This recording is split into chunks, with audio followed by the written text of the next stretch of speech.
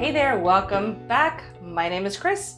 I am a local realtor here with Keller Williams Realty, and today we're going to be talking about why all those homes and households in forbearance are not going to become foreclosures. No, they're not. If you've been waiting to buy a home so that you could pick up one of those great foreclosure deals, you might want to keep watching this video and maybe rethink that plan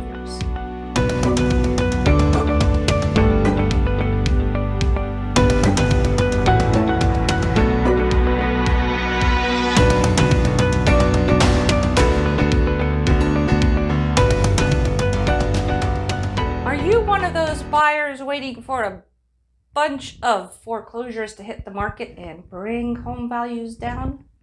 Or maybe you're waiting for a bunch of foreclosures to hit the market so that you can get one of them at a discount. There has been a lot of discussion about what will happen once those 2.3 million households that are in forbearance are no longer protected by that program. Some people assume there could be millions of foreclosures ready to hit the market. However, there are four reasons that that is not going to happen. Let's take a look at those. Number one, almost 50% of households which leave the forbearance program do so already caught up on their payments.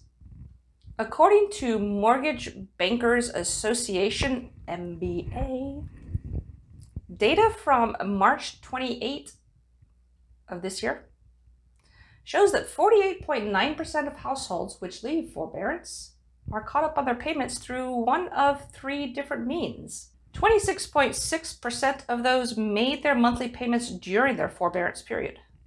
14.7% brought past due payments current, and 7.6% paid off their loan in full. Now, this doesn't mean that the more than 2 million households currently in the plan will exit the plan in the same way. However, it does give us some insight into the possibilities of what could happen with these 2.3 million houses. Number two, this is very important. The banks do not want to foreclose on these homes. Banks learned their lesson in 2008, and let me tell you, having worked with foreclosures back then, they didn't want the homes then either. But they've really, really learned their lesson since then, and they're working very closely with homeowners to make sure that they have home ownership retention and that homeowners keep their homes rather than just willy nilly throwing out foreclosures left and right.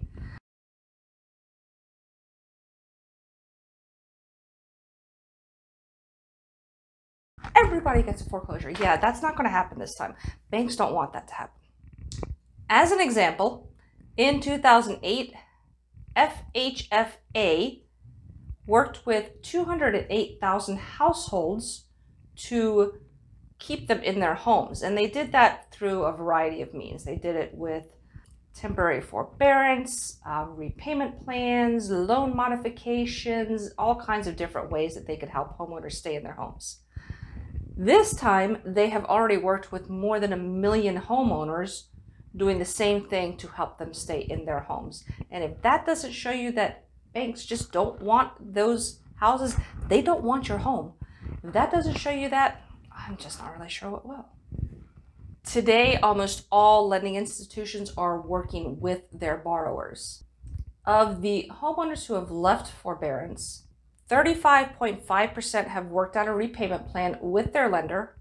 26.5% were granted a loan deferral where a borrower does not have to pay the lender interest or principal on a loan for an agreed period of time.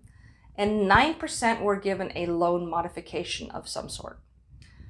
Number three, foreclosure on homes just is not a political thing. It's just not a good political move right now. Just like banks are pretty determined not to let their borrowers lose their homes, the federal government is pretty determined to keep families in their homes as well. Bloomberg recently reported mortgage companies could face penalties if they don't take steps to prevent a deluge of foreclosures that threaten to hit the housing market later this year. Mortgage services should start reaching out to affected homeowners now to advise them on ways they can modify their loans. The CFPB is also proposing a new set of guidelines to help people retain their homes. There is a little bit of controversy about that, about whether or not the Consumer Financial Protection Bureau has the ability to change things about foreclosures, and a decision has not quite yet been made but I will post all of the details in a link below so that you can see what the new guidelines would be if it goes through. And number four, and probably super important, there is so much equity in homes right now that most homeowners can sell their homes rather than letting their homes go into foreclosure, even if they haven't made the payments, even if they're in pre foreclosure. Homeowners today have a record level of equity. According to CoreLogic, the average equity in a mortgaged home is $204,000. Plus, 38% of homes in this country don't even have a mortgage to begin with. Just like the banks and the federal government, homeowners have learned their lesson from the 2008 crash. A lot of people still remember the uncertainty, the unemployment, the foreclosures, the the general hardships that so many families went through, and they are not willing to repeat that. This probably explains why there are so many mortgage free households in the United States right now. So, what does this mean for the forbearance situation? Well, only one in 10 homes has less than 10% equity in their homes, and that is the minimum amount of equity that a homeowner has to have in the home in order to really be able to sell it through tra- traditional means.